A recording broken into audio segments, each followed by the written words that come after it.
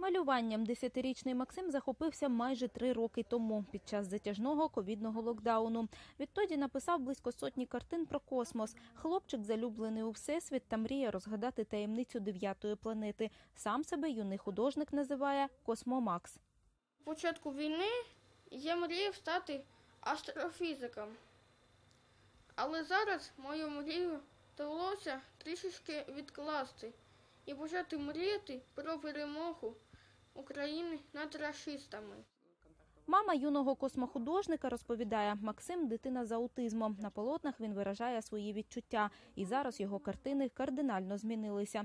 Замість космічних планет і зірок десятирічна дитина малює біль українців, якого завдала війна. Ось ця картина з'явилася після того, як росіяни вдарили ракетами по Вінниці.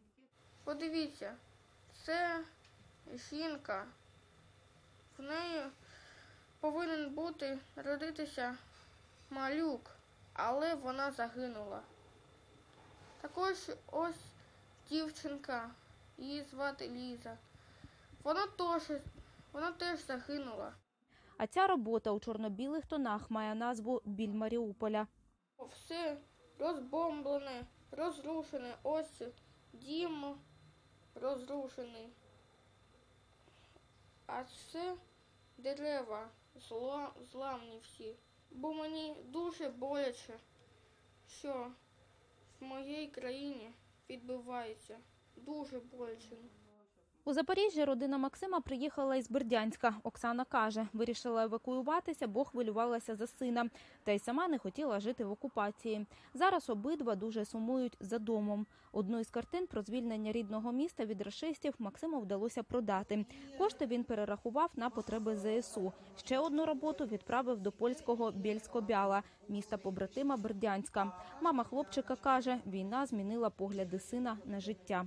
Він з маленького хлопця постійно усміхненого перетворився в якогось в якусь людину з філософськими з філософськими думками. Мені дуже як, як то сказати, і, і гордісно за нього, і дуже мені сумно, що в нього такого дитинства закінчилося в дитини дитинство. Аби підтримати юного художника, у гості до нього завітали його нові друзі, рятувальники. Принесли подарунки та запросили на дитяче свято. Там Максим покатався у пожежній машині та разом із мамою долучився до фестивалю фарб. Інна Гогой, Ігор Воробій, подробиці телеканал Інтер, марафон Єдині новини.